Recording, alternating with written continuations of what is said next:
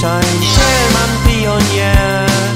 Jetzt bin ich ein freier deutscher Jugend.